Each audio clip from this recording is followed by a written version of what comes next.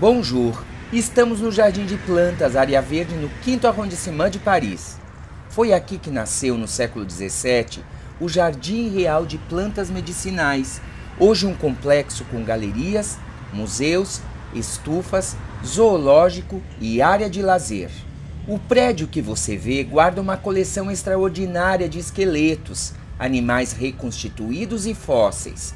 Bem-vindos ao canal Paris do Meu Jeito vamos explorar as galerias de paleontologia e anatomia comparada do Le Muséum, o Museu de História Natural da França. Começamos no térreo, onde está instalada a Galeria de Anatomia Comparada. Aqui nos deparamos com esqueletos de peixes, anfíbios, répteis, aves e mamíferos de diversos tamanhos e épocas, todos alinhados como se estivessem em marcha, sob o comando de um exemplar de um Homo sapiens, com músculos, órgãos e sistema nervoso à mostra. As galerias de paleontologia e anatomia comparada funcionam desde 1898. Fizeram parte das atrações da Exposição Universal de 1900. O térreo é dedicado à anatomia comparada. Os outros dois pisos têm como foco a paleontologia. A criação das galerias, cada uma abordando a sua especialidade, se deu graças aos esforços dos professores Albert Gaudry, Georges Pouchet e Ernest Theodore Ramy. Eles ocupavam, respectivamente, as cadeiras de Paleontologia, Anatomia Comparada e Antropologia e Pré-História. Neste passeio com informação fora do circuito turístico tradicional, é possível, por exemplo, perceber a relevância de um esqueleto, estrutura comum a todos os vertebrados, e verificar suas diferenças entre os grupos animais. Confrontando tamanhos e formas, é possível, por exemplo, compreender um pouco melhor como se deu a adaptação à vida no mar, na terra e no ar. Este é o desafio da anatomia comparada. Vamos mergulhar também na galeria de paleontologia, que exibe animais pré-históricos como dinossauros, baleias, mamutes e jacarés, e conhecer fósseis de plantas e invertebrados. O Museu de História Natural da França reúne séries animais provenientes de missões promovidas por naturalistas franceses que circularam o mundo nos séculos XVIII e XIX. Somadas ao patrimônio que já existia, nasceu uma incrível coleção. Encontramos aqui curiosidades, destaque para o esqueleto deste rinoceronte, que chegou em Versailles em 1770 sob o reinado de Luís XV. O acervo de anatomia comparada é composto por séries de animais inteiros ou partes de animais preservados na forma de esqueletos ou em formol. Ao todo, são 4 mil exemplares selecionados em exposição e mais de 100 mil lâminas histológicas conservadas.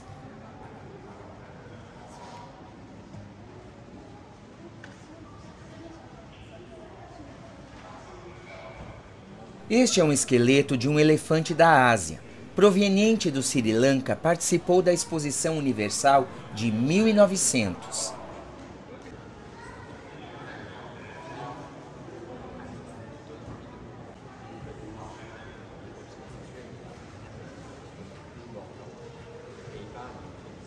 Já este esqueleto é de um elefante do Congo, ofertado em 1668 pelo rei de Portugal Pedro II ao rei da França Luís XIV. Trata-se de uma fêmea que viveu 13 anos num pequeno zoológico real em Versailles. De acordo com o Museu de História Natural da França, fonte deste vídeo é o exemplar mais antigo da galeria. Estamos nas vitrines dedicadas às aves. A galeria de anatomia comparada diferencia as aves de acordo com os bicos, patas, asas plumagem e canto. Os ovos expostos são para se ter uma ideia dos formatos e tamanhos existentes ou descobertos até o momento.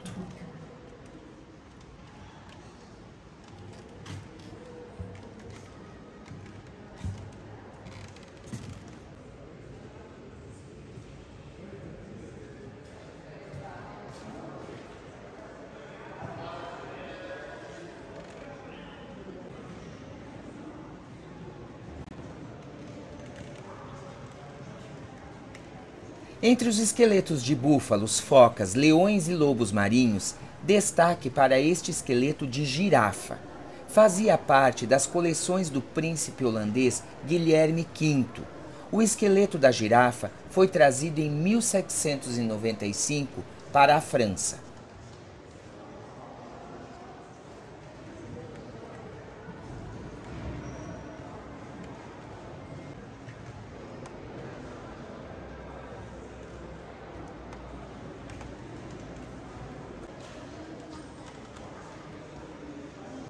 A ala dos macacos é impressionante. Os esqueletos são originários de regiões asiáticas e africanas. São chimpanzés, gorilas e orangotangos de grande porte, alguns bípedes, outros quadrúpedes.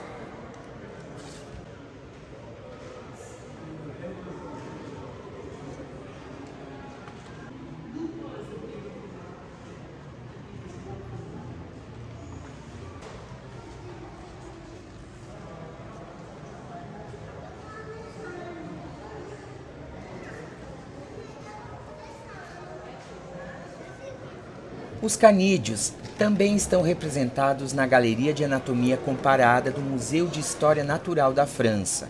Por isso, tantos esqueletos de cães, lobos, coiotes.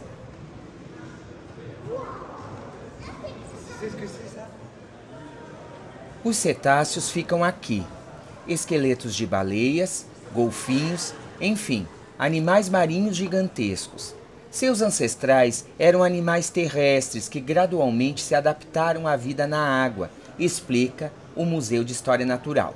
Fonte de matérias-primas, os grandes cetáceos são caçados desde o século XI. A caça não é a única ameaça. As alterações climáticas, a poluição química, biológica, física ou sonora, devido às atividades humanas, têm consequências graves, de acordo com o Museu de História Natural da França. Contaminação, desorientação, asfixia pela ingestão de resíduos plásticos. A ala dos cetáceos tem como destaque no alto o esqueleto de uma baleia azul.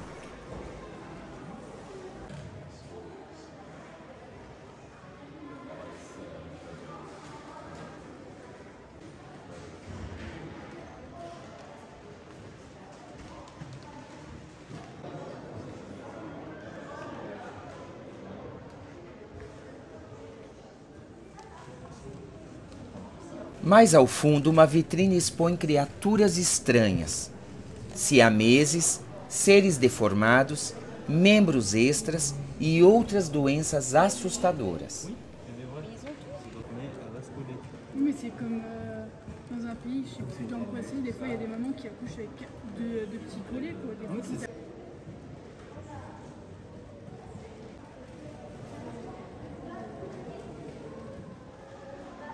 Circulamos agora pelas vitrines com esqueletos de peixes e anfíbios.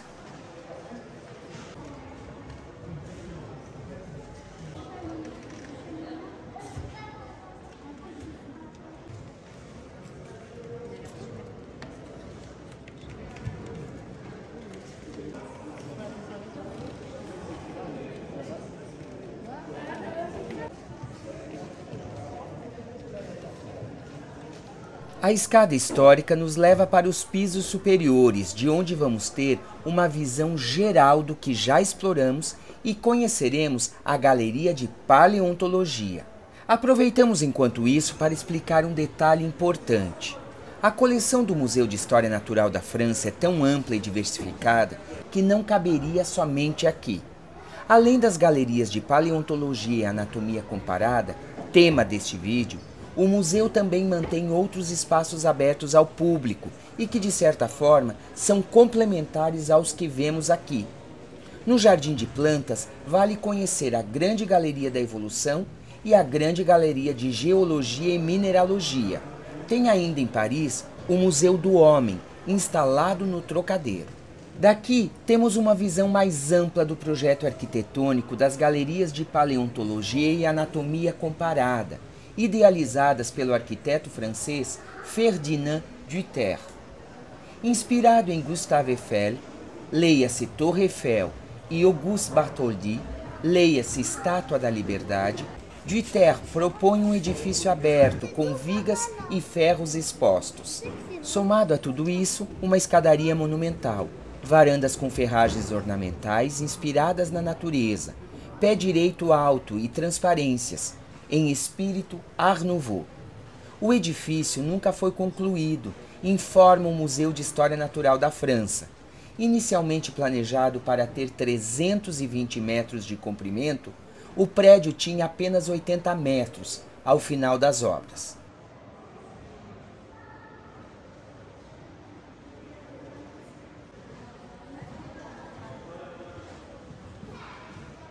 Estamos na galeria de paleontologia, numa das alas dedicadas aos animais pré-históricos. Começamos com a mulagem deste cavalo, que desapareceu há cerca de 10 mil anos. Atenção, mulagem não é uma simples cópia, mas um importante meio arqueológico de reconstituição e conservação de espécimes desaparecidos. Aqui, um gênero extinto de preguiça terrestre. O esqueleto foi descoberto nas margens do Rio da Prata, próximo a Buenos Aires, na Argentina, e veio para a França nos anos 1840.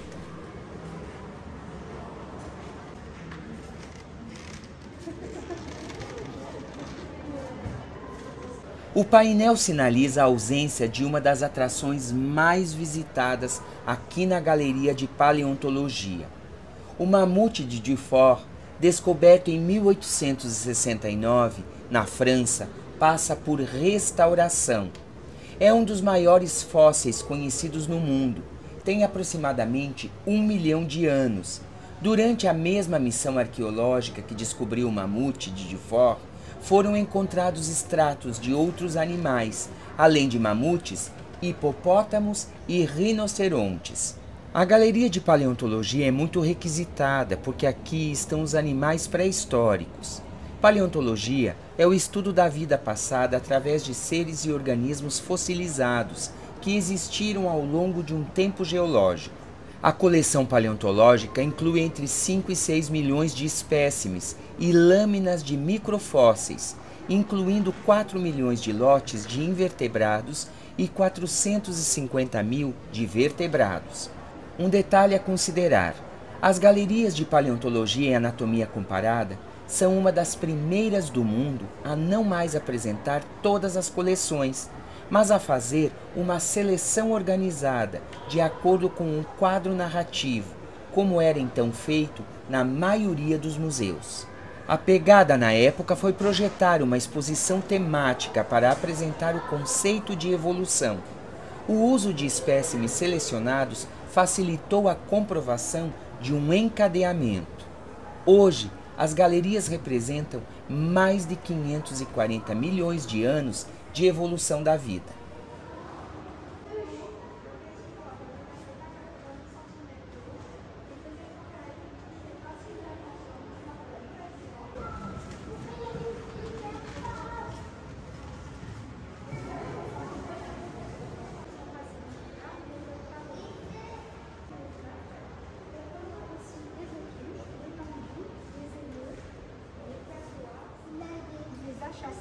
Nesta vitrine, pássaros elefantes. Essas aves viveram em Madagascar, na África, até o ano de 1500. Pesavam em média meia tonelada e mediam 3 metros de altura.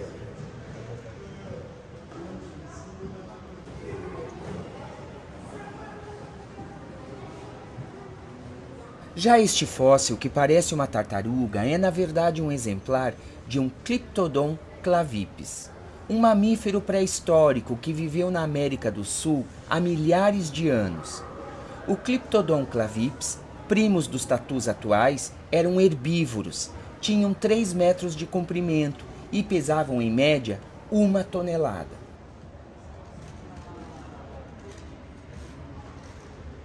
Agora o esqueleto de um megatério, que também lembra um bicho preguiça, só que do tamanho de um elefante de porte médio foi montado pela primeira vez na França em 1873. Daqui vemos o esqueleto de um gênero extinto de baleia primitiva. Foi descoberto em 1977 na costa peruana. é do Eoceno Superior, ou seja, tem mais de 30 milhões de anos e está em exposição desde 2012. Parada para observar um iguanodon, um dinossauro herbívoro de até 9 metros que viveu na Europa há aproximadamente 120 milhões de anos. O exemplar é, na verdade, uma mulagem, reprodução baseada em moldes oferecidas à França pelo Museu Real de História Natural da Bélgica.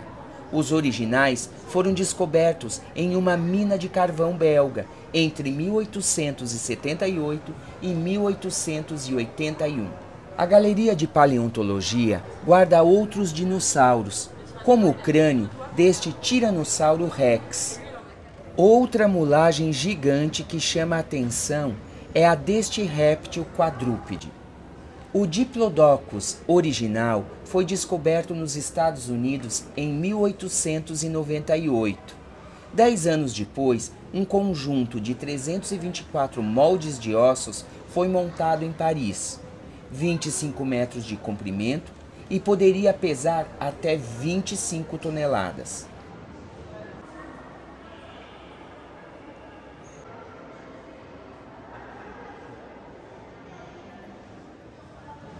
Seguimos nossa visita com informação pela Galeria de Paleontologia do Museu de História Natural da França.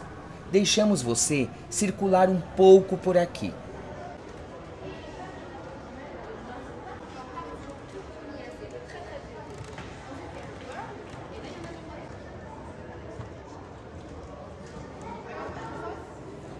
Este esqueleto fossilizado é de um tarbossauro conhecido como réptil ameaçador.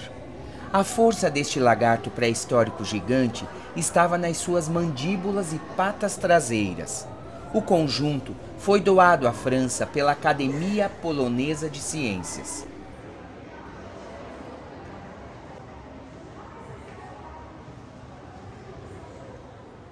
Esqueleto quase completo de um Sarcosuchus imperator, um crocodilo devorador de carne que vivia em região pantanosa onde hoje está o deserto do Saara. O exemplar tem cerca de 110 milhões de anos e foi descoberto pelos paleontólogos do museu em Níger, na África, em 1973. Tem aproximadamente 10 metros de comprimento, dos quais 1,80m só de cabeça. Na boca, 138 dentes similares, alguns reproduzidos. Estima-se que esses crocodilos pesavam em média 4 toneladas e meia.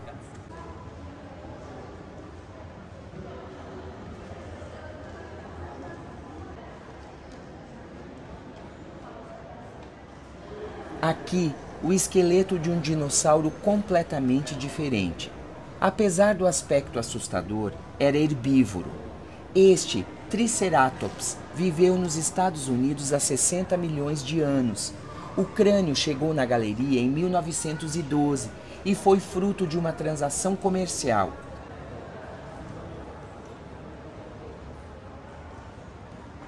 Nesta ala, o fóssil de um rinoceronte descoberto por operários nos anos 1850, numa escavação em Ganá, no interior da França. Subimos mais um piso para explorar o outro andar dedicado à paleontologia. Mas antes, um pouco da história do museu responsável pela administração das galerias de paleontologia e de anatomia comparada. Segundo o site oficial do museu, a aventura entre aspas começou em 1635, com a criação do Jardim Real de Plantas Medicinais, antigo nome da instituição. Desde então, os entusiastas analisaram, compararam e trouxeram de suas viagens essências que enriqueceram sua herança. Alguns deixaram seus nomes para a posteridade, como os naturalistas Georges-Louis Leclerc de Buffon, Georges Cuvier e Jean-Baptiste de Lamarck. Com o passar do tempo, novas disciplinas se desenvolveram, em particular a química, a partir do século XVIII, cujo estabelecimento foi o berço na França, mas também a pré-história, a arqueologia, a geologia, a antropologia, a paleontologia, permitindo assim acumular novos espécimes e conhecimentos sem precedentes. Nessas vitrines, um legado científico de relevância. O acervo de moluscos marinhos fossilizados do Museu de História Natural da França inclui espécimes do mundo todo. Aqui estão representados todos os grupos atuais e extintos.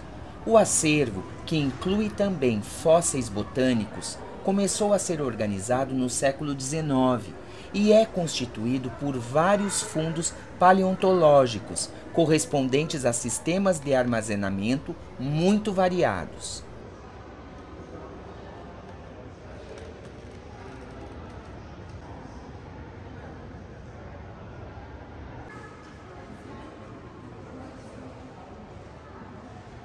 O acervo preserva ainda exemplares de florestas petrificadas e plantas fossilizadas. Tudo aqui é reservado à pesquisa fundamental, taxonomia, anatomia comparada e sistemática. O acervo é, no entanto, acessado também para fins museográficos e educacionais. Investigadores internacionais consultam o acervo com regularidade. O mobiliário de época contém gavetas repletas de conhecimento, acumulado pelos especialistas e pesquisadores franceses.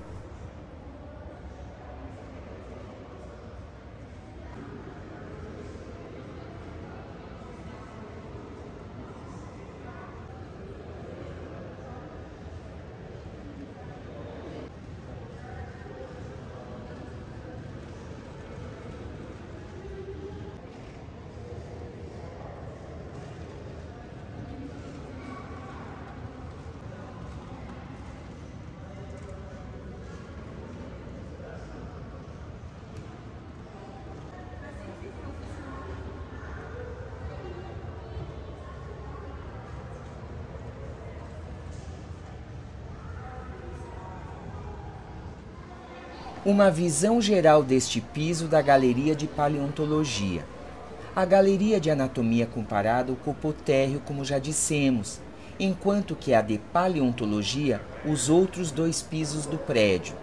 O espaço vazio para reforçar é reservado ao Mamute de Durfort, que no dia da nossa visita estava em restauração.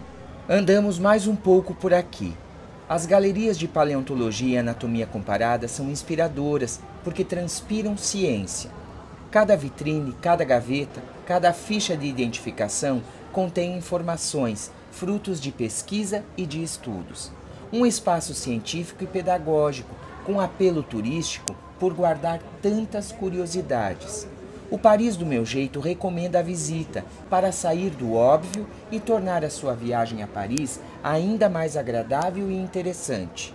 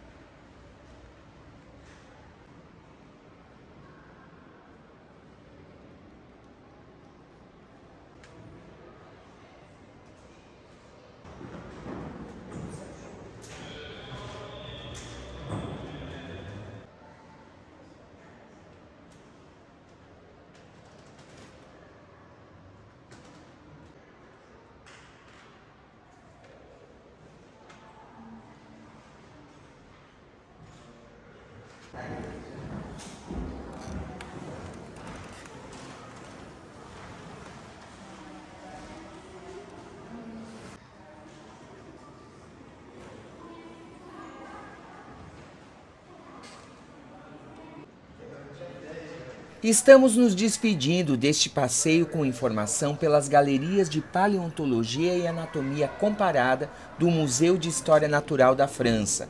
Esperamos que tenham gostado. Consulte nossos serviços de ensaios fotográficos e passeios a pé com informação e fotos no Instagram arroba Paris do Meu Jeito.